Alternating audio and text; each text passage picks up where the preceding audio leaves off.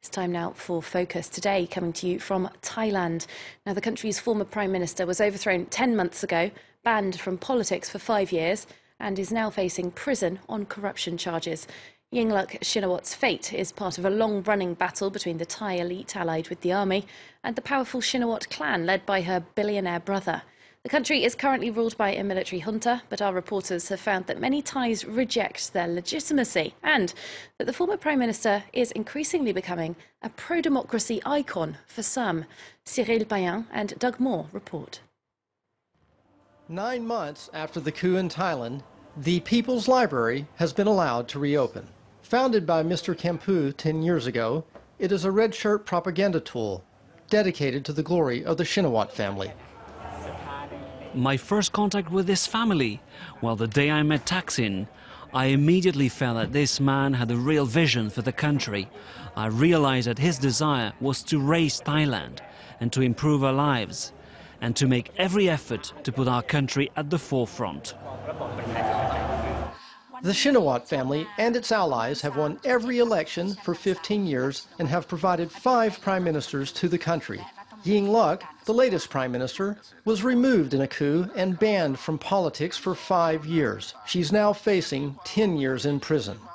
The meaning of the Siakong is to eradicate the uh, Shinawatra family from politics, eradicate the Pheu Thai political party from the politics, eradicate the, the red shirt.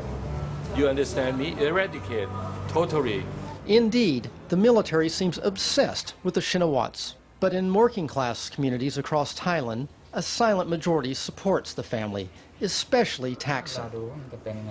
I do not know if Thaksin can return home in the current context. It's difficult. We're just waiting. I really think he wants to return to fight back, but we would need a miracle for that to happen. In spite of martial law, Thailand is more divided than ever Mr. Charng's district reflects the reality of the country, a deeply polarized nation. It has been a long time that Mr. Charng and A, both neighbors and childhood friends, have spoken to each other. Everyone tries to mind their own business in the area. But it's true that sometimes it's tense between us. We often have radically different views.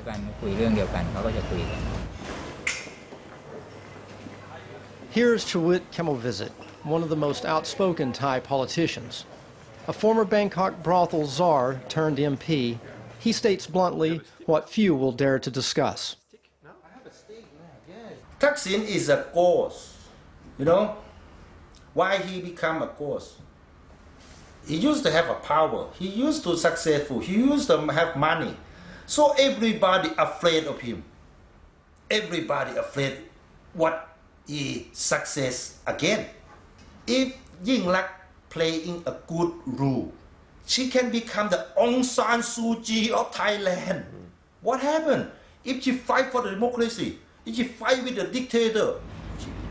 What is the future of the country after nearly a decade of political turmoil? Will pro and anti-Thaksin rivals ever manage to reconcile? It appears there is a long way to go. The cause of all our troubles is Thaksin.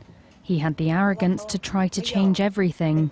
He failed, but he can't accept it, and he never gives up. It's his character that started the fire in this country. No, Thaksin is not the problem. The problem is the system, the corruption. Yes, that I agree with. Politicians are getting richer and we have to pay the price. After nine months in power, the military junta is closer than ever to ending the Shinawatra era. It remains to be seen if this will reunite the people of Thailand.